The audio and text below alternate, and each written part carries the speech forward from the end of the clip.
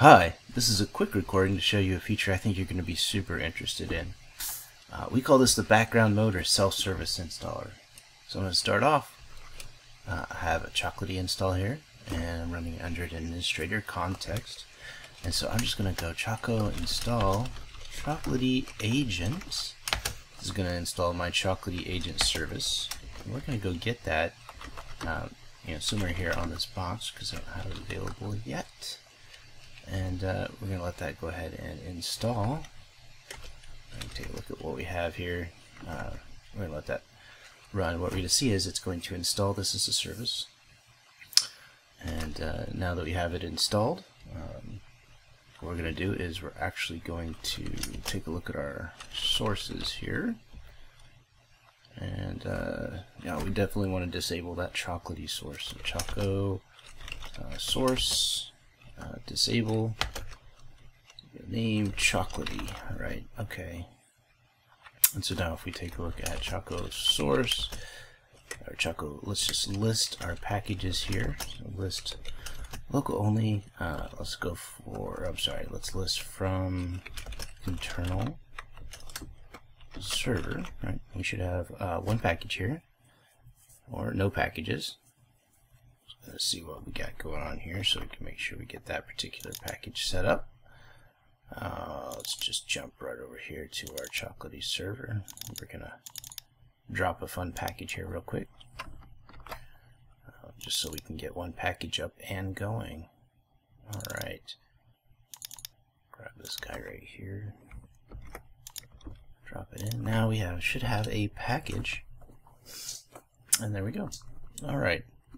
So now, I've installed the agent, I've disabled uh, the chocolatey source, um, and I've set up my own internal server where I'm creating packages. Now, I'm going to go ahead and enable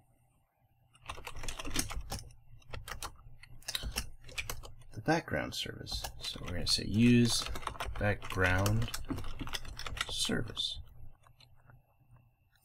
Alright, so that's put Chocolatey into background mode. I bet you're asking what does this mean? Uh, we'll see that in just a second. I got one more feature here to uh, fix up. So feature, we're going to disable show non-elevated warnings, right? And so this will allow a non-administrator to use Chocolatey um, in a way. All right, so let's just jump over here to a non-administrator we already should have logged on to the system here. Alright, just to show you this is a non-administrator, let's just go download something.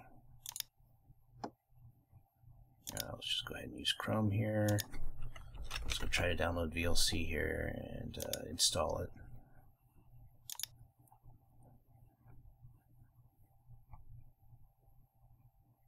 It's thinking.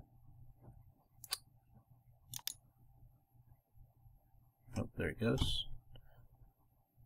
Alright, so that's installed. There, there it is. And it's saying pick an administrator and give the password. So this is typical, right? When I don't have administrative access, I have to provide that. Now, coming over here to uh, Chocolatey. Now, Chocolatey has been configured for the background mode. We're using that background service. So, uh, as a non-administrator, I can now Choco install, let's say, Adobe Reader and Chocolatey is going to run in background mode so you're seeing it as it's uh, as it's happening. So uh, it's reaching out to grab this particular package and it's it's doing anything it needs. Now normally uh, we would run package internalizer so that we wouldn't even have to download this from the internet. Um, I just wanted to show you how um, it does put the progress all in one line there for us and that's pretty pretty handy. It does take it just a minute to download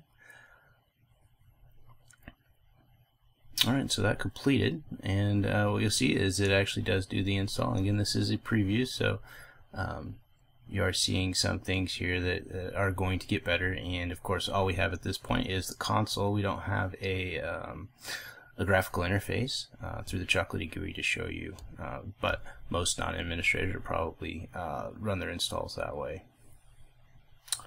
Alright, so this has now installed um, Adobe Reader. So now if I jump over here and I start looking for Adobe Reader, I can spell. Oh, I guess I should be looking for Reader. Right, there it is. There's our uh, Acrobat Reader that just got installed. And what you see here is I am a non-administrator over here and I was able to actually install software.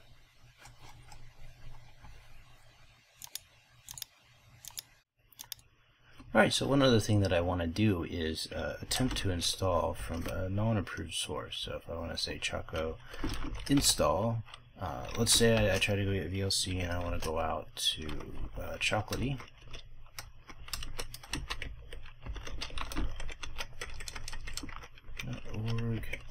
API v2 hmm. So I get this nice error message here that tells me that I can't install from custom source locations in background mode so please remove that custom source and try again. Huh. so what if I tried a different way? What if I tried minus source?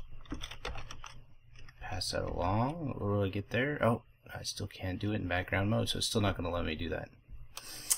So, uh, as an administrator, uh, what's really nice about this is all this stuff gets logged.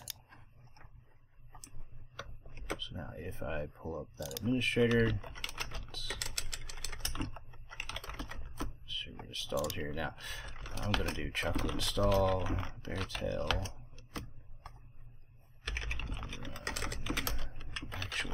this will keep me from going into the background mode. And of course, that source was disabled. So I actually need to tell it I'm going to uh, use chocolatey source. And uh, of course, it doesn't like that. So let's give it the full source.